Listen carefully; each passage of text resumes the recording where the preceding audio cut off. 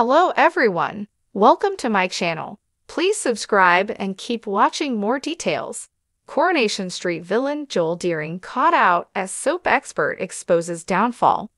Coronation Street fans have seen Joel Deering remain undetected as the person responsible for harming missing teen Lauren Bolton. It looks as though evil Joel Deering, played by Calum Lill, could be brought to justice in Coronation Street in upcoming scenes. Speaking about what's coming up in the Cobbles, soap expert Sharon Marshall teased there's drama on the way. While on This Morning, she explained to hosts Ben Shephard and Cat Deeley secrets could be coming out. Playing a snippet of Friday's upcoming episode, viewers saw Joel's engagement dinner swiftly interrupted.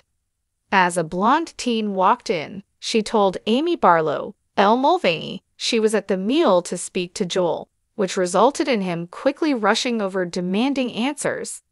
Speaking about the tense moment, Sharon commented, Shaken, shaken. Is she going to ask questions? And if she asks too many, it could finally bring about Joel's downfall. Fans of the soap will know that Joel is the person who beat Lauren Bolton, Kate Fitton, before the teen vanished from the cobbles.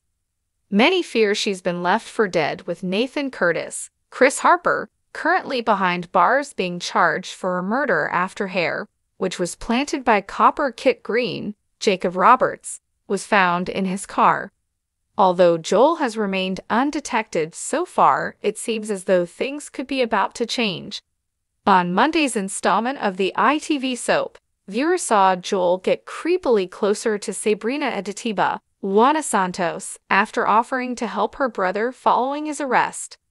While sitting on the bench, he decided to pour some liquor into her cup and pretended to do the same for himself. Admitting that she reminded him of an ex, Sabrina didn't seem to mind the flattery. However, when her friend later showed up, she was less than impressed. Highlighting the clear age difference, she called him slimy and told her to stay clear of him. Admitting that she knew he tried to get her drunk, he denied the allegations, but the teen girl remained adamant. Later on, she decided to confront the lawyer for giving Sabrina alcohol earlier on.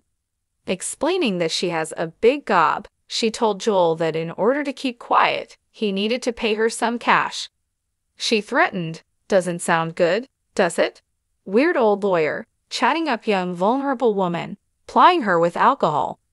Lying that he was trying to help, he managed to walk away from the friend, although it was clear she isn't going to let things go that easily.